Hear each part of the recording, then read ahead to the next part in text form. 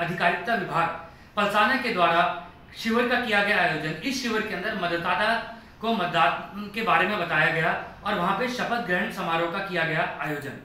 महिला आधिकारिकता विभाग पलसाना द्वारा ग्राम पंचायत में कैंप के दौरान मतदाता जागरूकता अभियान के तहत शपथ कार्यक्रम ब्लॉक पर्यवेक्षक सुनीता चौधरी के दिशा निर्देश ग्राम साथिन सरोज देवी द्वारा करवाया गया।